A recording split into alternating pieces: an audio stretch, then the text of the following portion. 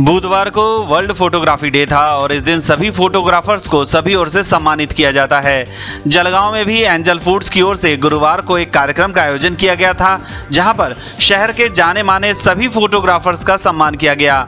Angel food foundation के अध्यक्ष दानियाल अलाउद्दीन का मानना है कि फोटोग्राफर्स भी कोरोना वॉरियर्स हैं और उनका भी सभी ओर से सम्मान किया ही जाना चाहिए, ताकि नागरिकों तक फ़ोटो और समाचार पहुँचाने वाले इन योद्धाओं का सम्मान हो सके। और आज का प्रोग्राम जो है तो खास तौर इसलिए रखा गया है कि जैसे कोरोना और की इस महामारी में हर किसी ने अपने तरह से अपना सहयोग दिया, अपना योगदान दिया, लोगों की खिदमत की। जो लोग नहीं करते थे, उन्होंने भी अपना थोड़ा थोड़ा हिस्सा लगा के, जैसे कि डॉक्टर, सफ़ाई कर्मी पुलिस आदि ये लोग उसी तरह से जो आज का प्रोग्राम हमारी तरफ़ से रखा गया है। ये खास स्पेशल पत्रकार जो फोटोग्राफर है, इन्होंने भी अपना बहुत बड़ा योगदान इसमें दिया है।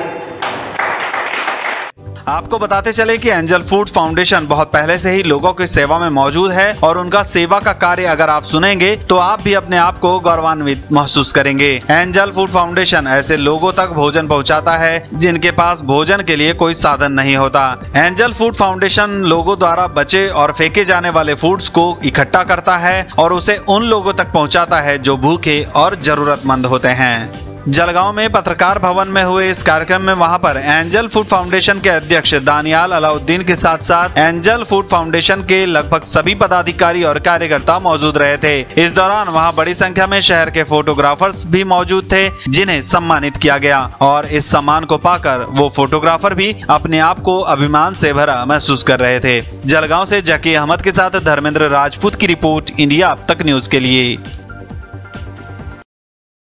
हे गाइस ताज़ा खबरों के लिए लाल बटन दबाकर सब्सक्राइब करें और तुरंत खबर पाने के लिए घंटी के बटन को दबाएँ।